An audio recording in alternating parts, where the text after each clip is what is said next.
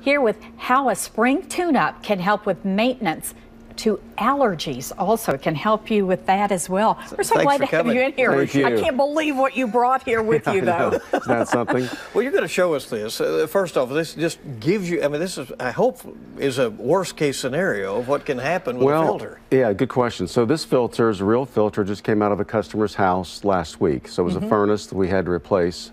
But um, you look at this and like a small dog in there. It's uh, Oh. Full of hair and dirt. And um, this is all preventable. It's preventable by having us or a company like ours do a maintenance uh, twice a year in spring and fall. Well, this looks so horrible. How Yes. long does it take to get like that? Well, Barbara, you know, it depends a lot on the house. You know, this house certainly had dogs, so Mm-hmm. uh, I would suggest this was probably somewhere around a, a six to 12 month period that it took that long so to it, get that's really not that long. Right, it, it's really Yeah. not. And most people don't really change their filters, especially if they're in a crawl space or an attic. They don't, either don't want to get in the attic or the crawl space, or they really physically can't get in the attic or crawl space. So, So, what is going on with your system when a filter is like that? well, a filter like that, you know, a couple of things. Number one, the, all the allergens, the dust mites, the dead skin is being trying to be captured here. But really, what's happening is two things. Nothing's getting filtered properly. So it's at that point, it's our nose hairs basically filtering it because it's a little too late. The other thing happening here is that the unit is stressed, so it can't breathe properly. And when it can't breathe properly, it's going to fail.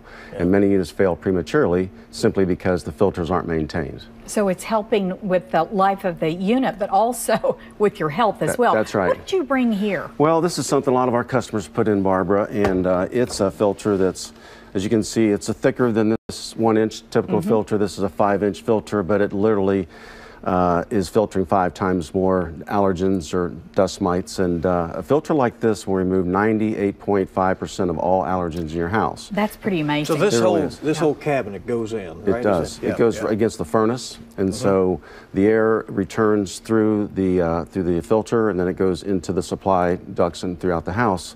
But this uh, f- uh, filter is capturing a lot more allergens and dust mites and dirt than something like that one-inch conventional filter is doing. I would think when you pull something like this out, though, and show it, that has to have a big impact on homeowners. It really does. Um, they're, they're quite alarmed, quite frankly, that it really was that bad. Um, and the, the other downside of a filter like this is that their energy bills are not efficient because, once again, the system can't operate properly without proper filtration. So it's kind of embarrassing for a customer to see this.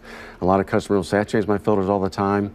But unfortunately, that's just not the case. Yeah. You were telling us at the beginning of spring, a very good time to do a checkup. What's involved with that? Perfect time to do it right now. Um, a, a checkup like that for our company costs roughly $89, and most companies are about that price, so it's well worth it. But we bring new filters to a house.